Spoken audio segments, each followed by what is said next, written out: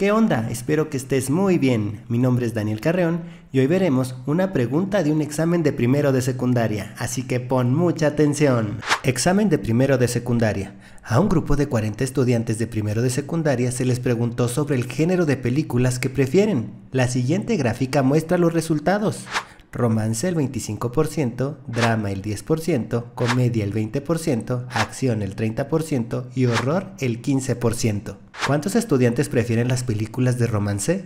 Las posibles respuestas son inciso A 30 personas, inciso B 25 personas, inciso C 15 personas e inciso D 10 personas.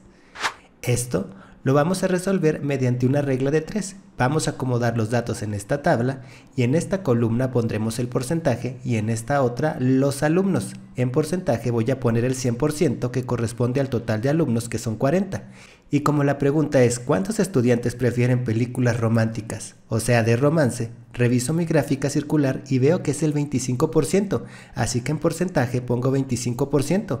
Ahora lo que nos falta saber es cuántos alumnos corresponden a ese 25% y esto lo vamos a hacer mediante una regla de 3. Los datos que están en diagonal se multiplican, 25 por 40 nos da 1000 y el dato que quedó solo, que en este caso es 100, así que pongo aquí entre 100. Y esto es igual y al dividir 1000 entre 100 nos da como resultado 10, así que lo pongo aquí en mi tabla.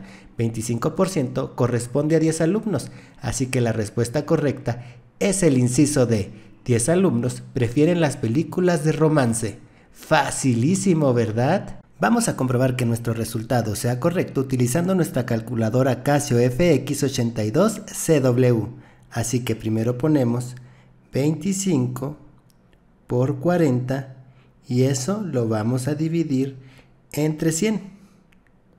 Presionamos Enter y en nuestro resultado es 10. Por lo tanto, nuestro resultado es correcto. Facilísimo, ¿verdad? Por cierto, recuerda que al comprar tu calculadora Casio incluye una licencia para que lo utilices por 4 años en tu celular, así que si lo olvidas o pierdes podrás utilizarla en cualquier dispositivo móvil. A continuación, te voy a dejar un ejercicio. ¿Podrás resolverlo? Espero ver tus respuestas en los comentarios.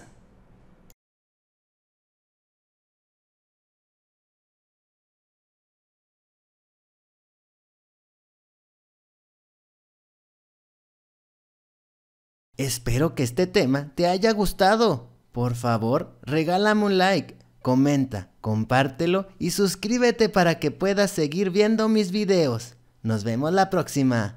Hasta luego.